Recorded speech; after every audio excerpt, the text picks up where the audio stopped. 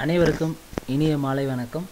Olympia TNPSC academy வழங்கும் இன்றைய நடப்பு நிகழ்வுகளில் நாம் பார்க்க இருக்கிறது இருபத்தி ஒன்பது ஐந்து ரெண்டாயிரத்தி பதினெட்டு அன்று நடந்த நிகழ்வுகளின் தொகுப்புகள். இந்தியா இந்தோனேஷியா இடையே பாதுகாப்பு ரயில்வே சுகாதாரம் உள்ளிட்ட துறைகளில் பதினைந்து ஒப்பந்தங்கள் கையெழுத்தாகின. இந்தியா இந்தோனேஷியா இடையே பாதுகாப்பு ரயில்வே சுகாதாரம் உள்ளிட்ட துறைகளில் பதினைந்து ஒப்பந்தங்கள் கையெழுத்தாகின. இந்தோனேசிய அதிபர் ஜோகோ விடோட்டா.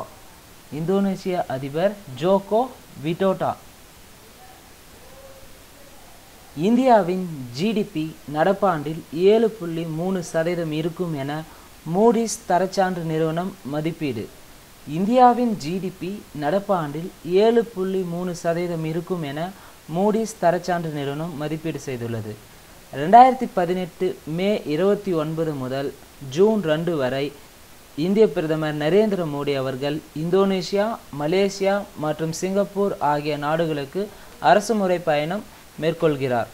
ரெண்டாயிரத்தி பதினெட்டு மே இருபத்தி ஒன்பது முதல் ஜூன் ரெண்டு வரை இந்திய பிரதமர் நரேந்திர மோடி அவர்கள் இந்தோனேஷியா மலேசியா மற்றும் சிங்கப்பூர் ஆகிய நாடுகளுக்கு அரசுமுறை பயணமாக ப பயணம் மேற்கொள்கிறார். சிங்கப்பூரின் கிளிபோர்ட் பையர் பகுதியில் மகாத்மா காந்தியின் மார்பளவு சிலையை இந்திய பிரதமர் நரேந்திர மோடி திறந்து வைத்தார். சிங்கப்பூரின் கிளிபோர்ட் பயர் பகுதியில் மகாத்மா காந்தியின் மார்பளவு சிலையை பிரதமர் நரேந்திர மோடி திறந்து வைத்தார். எவரெஸ்ட் சிகரம் ஏறிய அதிக வயதான இந்திய பெண் என்ற பெருமையை பெற்றார் சங்கீதா பகல். ஐம்பத்தி மூணு வயதில் எவரெஸ்ட் சிகரம் ஏறியுள்ளார். எவரெஸ்ட் சிகரம் ஏறிய அதிக வயதான இந்திய பெண் என்ற பெருமையை பெறுபவர் சங்கீதா பகல் ஐம்பத்தி மூணு வயதில் எவரெஸ்ட் சிகரத்தை அடைந்துள்ளார். மக்களுக்கு வானிலை எச்சரிக்கை அனுப்ப பிஎஸ்என்எல்லுடன் இந்திய வானிலை ஆய்வு மையம் ஒப்பந்தம் செய்துள்ளது. மக்களுக்கு வானிலை எச்சரிக்கையை அனுப்ப பிஎஸ்என்எல்லுடன் இந்திய வானிலை ஆய்வு மையம் ஒப்பந்தம் செய்துள்ளது. ரிசர்வ் வங்கியின் முதல் தலைமை நிதி அலுவலராக சுதா பாலகிருஷ்ணன் நியமனம். ரிசர்வ் வங்கியின் முதல் தலைமை நிதி அலுவலராக சுதா பாலகிருஷ்ணன் நியமனம். பாகிஸ்தான் நாட்டின் இடைக்கால பிரதமராக நீதிபதி முன்னாள் நீதிபதி நசீர் உல் முல்க் நியமனம். பாகிஸ்தான் நாட்டின் இடைக்கால பிரதமராக முன்னாள் ஓய்வு பெற்ற நீதிபதி நசீர் உல் முல்க் நியமனம். இந்திய பத்திரிகையாளர் சங்க தலைவராக அமர் தேவுலப்பள்ளி நியமனம். இந்திய பத்திரிகையாளர் சங்க தலைவராக அமர் தேவுலப்பள்ளி நியமனம்.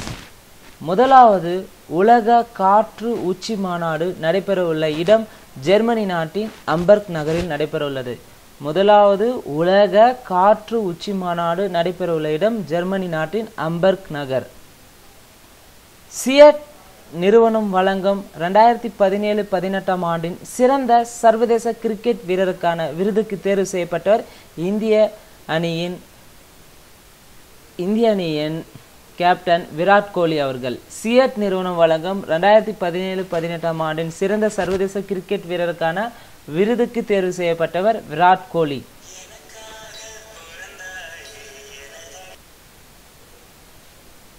ஆசியாவின் பெரிய மெட்ரோ ரயில் சதுக்கம் சென்னையில் அமைகிறது. ஆசியாவின் பெரிய மெட்ரோ ரயில் சதுக்கம் சென்னையில் அமைகிறது. இந்த வீடியோ உங்களுக்கு பிடிச்சிருந்தால் சப்ஸ்கிரைப் பண்ணுங்கள் மறக்காமல் உங்கள் ஃப்ரெண்ட்ஸ்க்கு ஷேர் பண்ணுங்கள் கண்டினியூஸாக வீடியோஸ் வரணும் பெல் சிம்பிளை கிளிக் பண்ணுங்கள் நன்றி. வணக்கம்.